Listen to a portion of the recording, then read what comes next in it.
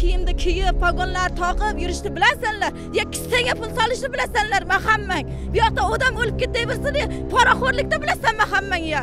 Bola chaqamni cho'ponlarimni urib tashlab ketgan. Oradan nima bo'ldi nima qo'ydi bilmay qoldim. Orqamga qattiq jism bilan nima bilan bo'lsa ham urdi men hushimdan ketib qoldim yo faqat zo'ravonlarnikimi ekan bu hayotga? Shu bilan bir ikki marta pichoq bilan so'yaman buytaman buytaman degan gurunglarni qilib meni qo'rqitib uchta qo'yimda o'tkaylam olib ketdi manaki sakkiz kundan beri yotibman uchastkovoylar ham kelib xabar ham olmadi boshqa ham qilmadi nima bo'ldi nima bo'ldi tergov ham boshqasi ham hech narsa bo'lmadi.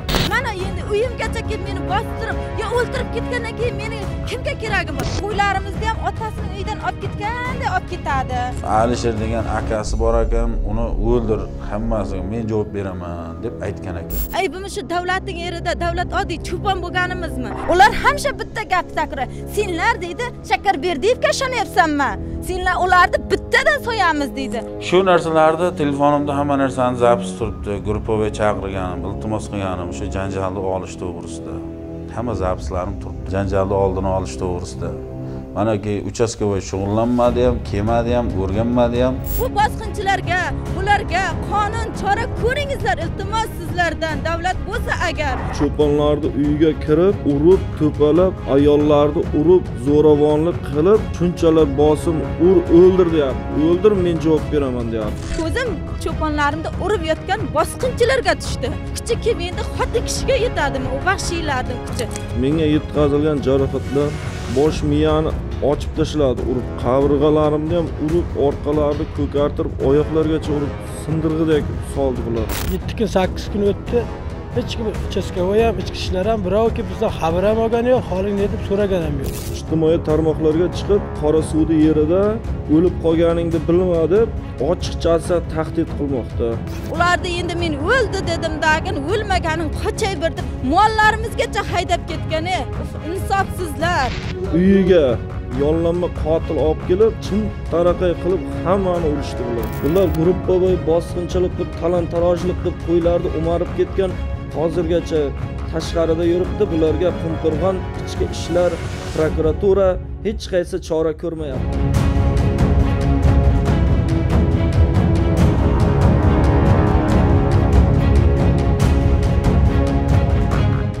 Assalomu alaykum aziz hurmatli davlat bor deganlar qonunga chora bor deganlar. Yo faqat zo'ravonlarnikimi ekan bu hayotga? Yo yashash faqat zo'rlarnikimi ekan? Puli ko'p moli ko'plarnikimi ekan? Bizning aybimiz nima? Aybimiz shu davlatning erida davlat oddiy cho'pon bo'lganimizmi?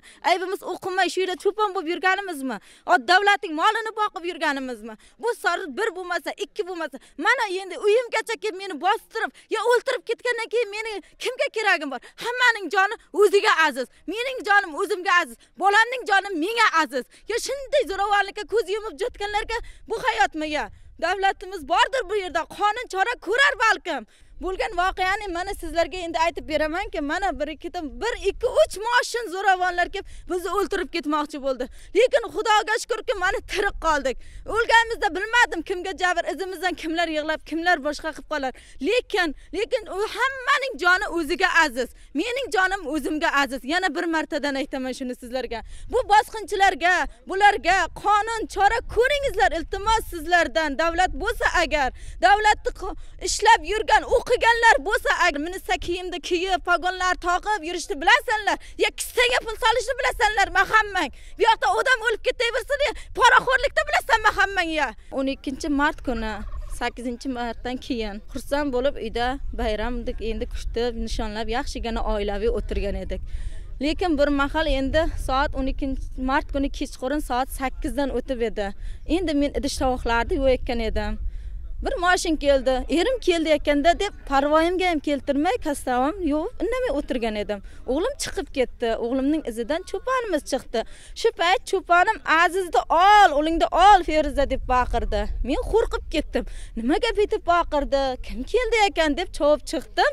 Lekin ne ko'z bilan ko'raydim bolamni topolmadim. Ko'zim cho'ponlarimni urib yotgan bosqinchilarga tushdi. Shu payt jonim borcha senlar kimsanlar kim deb ularga bordim. Meni ham siltab tashladi ayol kishiligimga qaramasdan ayolligimga ham qaramasdan. Ne ko'z bilan ko'ray bolamni ham qay payt otgan. Qo'limdan endi ularning orasidan olayotgan bolamni ham otib yubordi hattoki borku. Hali bu nimaga hali ikkiga kirgan hech narsani bilmaydigan go'dakku bo'l. Shunchalik ham vahshiy bo'ladimi odam bolasi shunchalik ham vahshiy bo'ladimi? Kuchi kelib endi xotin kishiga yetadimi u vahshiylarning kuchi? Meni uyimga bostirib kelyapti. O'sha payt keyin bolamni oldim. Shu jon talpasda bordim yordamga deb. Lekin kim ham yordam berardi? Shu bechora cho'ponlarim shu yerda shu talpang ostida qoldi. Ularni endi men o'ldi dedim keyin o'lmaganing qochay bir deb jonimni bor qochib bir bir tupkaga dashirinib dashinib qolaverdik. Keyin ular qaypayib ketgan mollarimizgacha haydab ketgan e insofsizlar. Davlatning moli bo'lsa o'l biz ham davlatning odami bo'lsak biz ham bilmayman ulardan nima bizdan nima xohlashni ular tushunmadim men. Mana shu voqeadan beri hali o'zimning ham mazzam yo'q bolamni ham mazzasi yo'q bolam yerning jorig'idan chiqqani yo'q edi lekin xudo menga sakkiz yilda berib edi shu bolani borku har qanday bosqinchilar kelib qo'rqitsin degani yo'q edi xudoyim ham. Endi shunga o'zlaringizdan iltimos sizlardan qonuniy chora ko'ringizlar deb sizlarga chiqyapman. Qonun bordir davlat bordir shuning uchun sizlarga chiqyapman men. Ko'rsin butun jahon ko'rsin unday bosqinchilarni. Shuning uchun qonuniy chora orqali chora ko'ringizlar unga qonun orqali chora ko'ringizlar. Men mana keldim uyga shu paytda manaki bosqinchilar kelib suyunib shoberdi buvani nevaralari davlatning qo'ylaridan haydab ketgan. Mani bola chaqamni cho'ponlarimni urib tashlab ketgan. Hurmatli prezidentimiz shunga o'zim yolg'izman. Qo'llab quvvatlab bir amaliy chora ko'rishingizni so'raymiz. O'sha kuni janjaldan keyin hammamiz qochib ketdik. Janjalda janjal tugagandan keyin biz kelsak qo'y haqiqatdan yotgan joyida yo'q. Qo'ylarni manzirni og'aynilari amakilari jiyanlari kelib qo'yni haydashib kelib olib keldik. Shu kuni uchastkovoylar yordamida sanaldi qo'y. Shu qo'ylardan bir yuz o'ttiz yettita qo'y yo'q. Qirq oltita qora qo'ydan e, to'qson birta cho'lon qo'y yo'q. Davlatni qo'yidan uchastkovoylar ham bor edi sanaganda. Qumqo'rg'on tumanidagi ichki ishlarda ishlaydigan uchastkovoylar ichki ishlar nozirlari shular kelib yordamida qo'ylar sanaldi shunda qo'y kam chiqdi. ikki ming o'ninchi yildan beri bosh cho'pon bo'lib ishlab kelaman shu qumqo'ron qorako'l mchzda qo'y qo'zilarni o'z vaqtida topshirardim. Bu suyunib hoji boboni o'g'illari nevaralari menga har yili bosim o'tkazib tahdid qilib keladi bular. Shu bilan bir ikki marta pichoq bilan so'yaman buytaman bitaman degan gurunglarni qilib meni qo'rqitib uchta qo'yimni o'tga yil olib ketuvdi indamaslik evaziga. Bu yil maniki bir yuz o'ttiz yettita qo'yni haydab ketgan. Cho'ponlarimni urib xotinlar bola chaqamni urib haydab ketgan. Sakkiz yil deganda farzandli bo'lgandim men. Hozir farzandimni qo'rqitib ular gapirolmaydan qilib tashlagan hurmatli prezident sizdan iltimos qilamiz. Sizlarga bir amaliy chora ko'rishingizni so'raymiz. Har kuni bizga bosim o'tkazib keladi bular. Har xil moshinalarda keladi. Qo'ylarimizni ham otasining uyidan olib ketganday olib ketadi. Yosh bola cho'ponmi katta cho'ponmi ularga farqi yo'q. Do'q qilib bu do'q popsa qilib xohlaganday olib ketadi. Bizga tinchlik yo'q. Qo'rquv o'z uyimizda qo'rqib yashayapmiz hozir. O'z uyimizda. Iltimos chora ko'ringizlar. Ular hamsha bitta gap takror senlar deydi shakarberdiyevga ishonyapsanmi? Senlar ularni bittadan so'yamiz deydi. Hurmatli prezident mana bizni o'z himoyangizga olishingizni so'raymiz. Mana hozirgacha yetti kun sakkiz kun o'tdi hech kim uchastkavoy ham ichki ishlar ham birovki bizdan xabar ham olgani yo'q holing ne deb so'ragan ham yo'q. Agarda bizga nimadir bo'ladigan bo'lsa bizga suyunib alisher suyunib yo'lchi ularning otasi suyunib omonboyning ular o'shalar aybdor bo'ladi bizga. Iltimos o'shalardan boshqalardan bizni o'z himoyangizga oling hurmatli prezident. Assalomu alaykum o'zbekiston prezidenti shavkat miromonovich mirziyoyev. Bugungi meni murojaatim o'zbekiston respublikasi gen prokuraturasi va o'zbekiston respublikasi ichki ishlar bosh boshqarmasi va jarqo'rg'on qumqo'rg'on ichki ishlar va prokuraturasiga. Bizga bo'layotgan tahdid va bosqinchilik haqida va hujum haqida gapirib bermoqchiman. Jarqurg'on tumani bobotog' mahallasida yashovchi abdullayev abduvositman. ikki ming yigirma ikkinchi yil o'n ikkinchi mart kuni soyqon bobotog' qorako'lchilik yeriga cho'ponlarga ovqat olib borganimda cho'ponlarni uyiga chamasi bir o'n besh yigirma kishi bo'lib kelishib hammasi dasta almatora temiri bilan kelib pichoq shunday bosim bilan biz ustiga tushib qoldik. Kelib cho'ponlarni uyiga kirib urib to'palab ayollarni urib zo'ravonlik qilib ikki yoshli bolani shunday ushlab otib yubordi. Shunchalar bosim ur o'ldir deyapti. O'ldir men javob beraman deyapti. Shunchalar o'ziga ishonib bir davlatni ham bepisand qiladigan shunday zo'ravonlik bo'lgan shunday bo'ldiki u yerda boshimga armatura yeb bir bola qilib qochib chiqib ketdim u yerdan. Keyin cho'ponlar ham hammasi qochib ketib birontasi qolmadi u yerda. Menga yetkazilgan jarohatlar bosh miyani ochib tashladi urib. Ikki litrlar qon yo'qotib bosh chayqalish darajasi tashxisi qo'yildi. U yigirma minut kechikkanimda men o'lardim. Qabrg'alarimni ham urib orqalarini ko'kartirib oyoqlargacha urib sindirg'idek qilib soldi bular. Bularga chora bormi yo'qmi bu?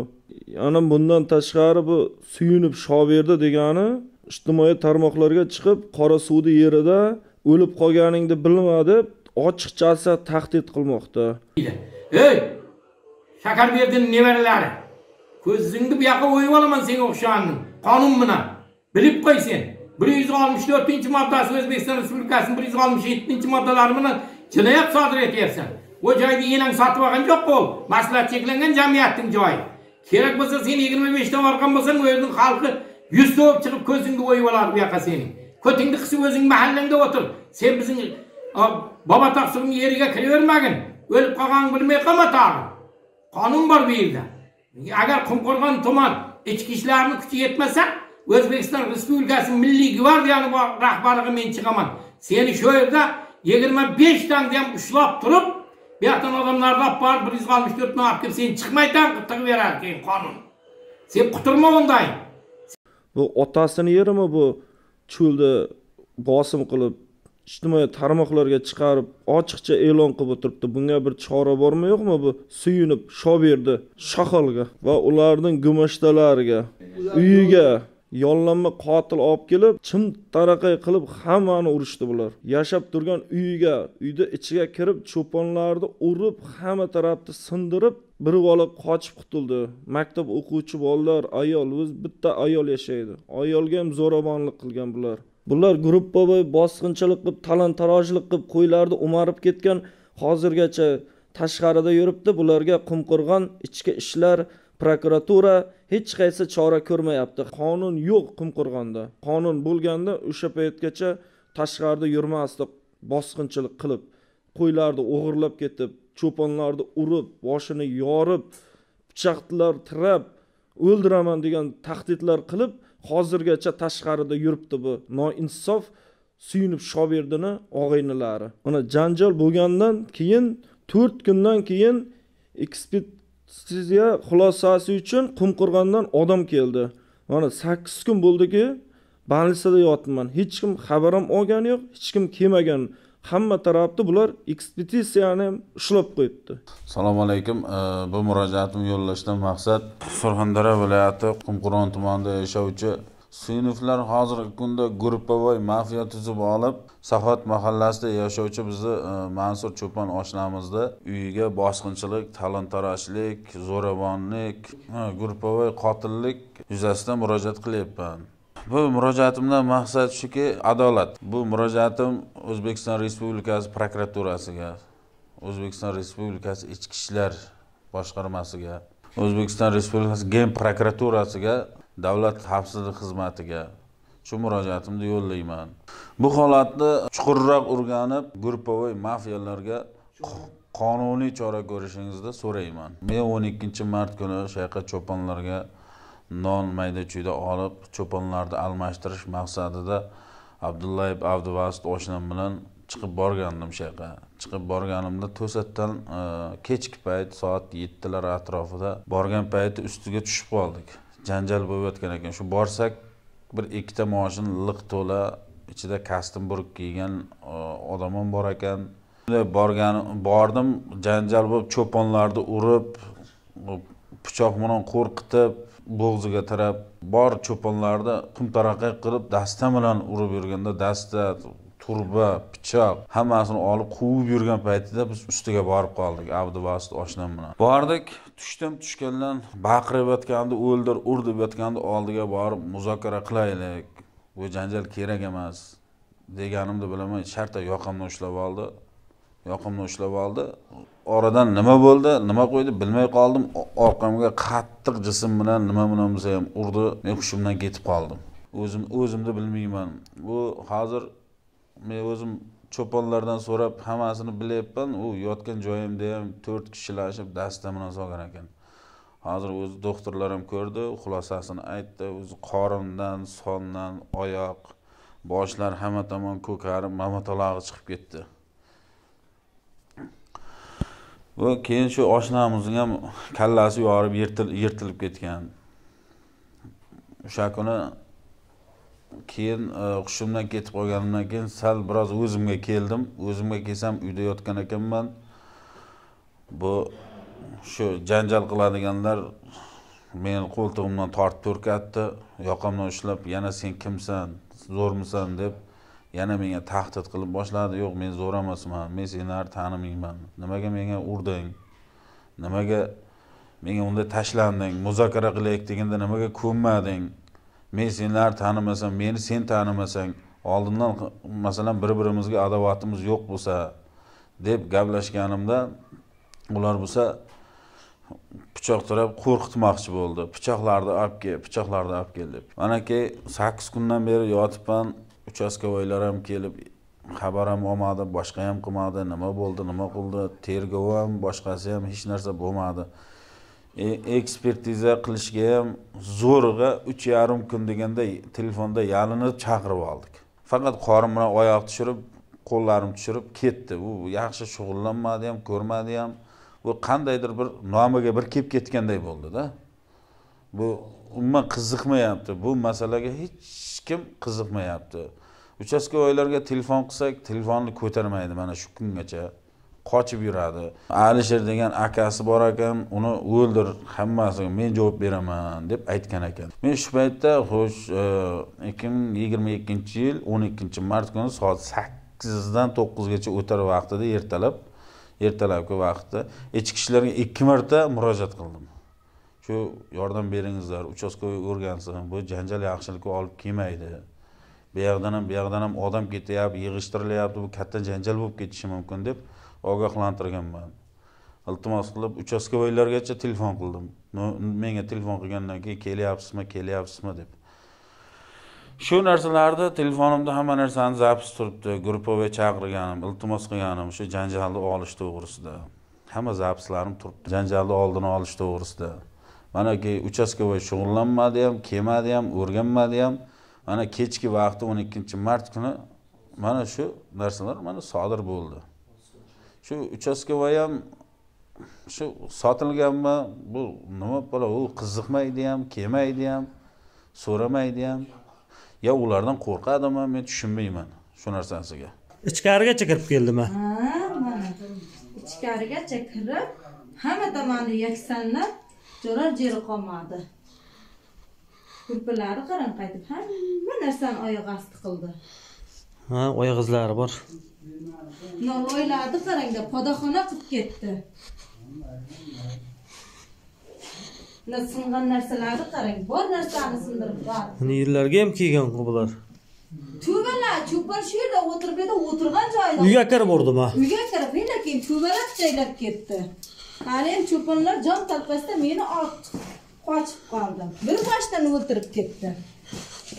Oynalar singan. Hamma narsa rasvo bo'ldi. Ha mana yoqda ham.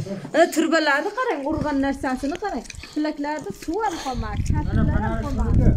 Qaysi fanar? o'zlari jog'ib ko'zimizga qon- fanariga mo- fanariga olib kelganman qaniki fanariklar fanari o'zlariniki ko'zimizga jog'ib qona qildi. Fanariklar ham bor ekan pilak turbani qayerdan olgan bular? Atkiganmi nima xato qaysi? Mana ma mana dastalarga qarang. Mana dastalarga qarang. Turbalar bor dasta voy bilar bular nima anavi mana turbalar bilan bular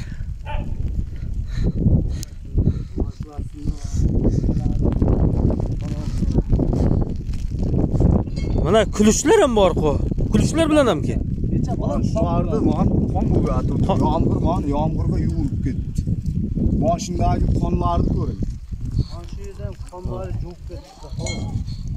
Mana shu yerda yotgan cho'zilib. Shu yerda ham qon bo'lgan mana shu yerda qolgan.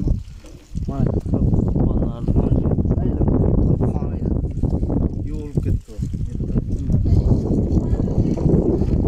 eshitaman bir yuz ikki aka boya murojaatimiz bo'yicha hech kim bir telefon ulashmadi ham bir uchastkovoylar bugun qarang bugun qumquronni bayrami ekan bugun. Aha. Qumquronni bayrami ekan hozir dedi hozir chiqib aytamiz aka deyapti.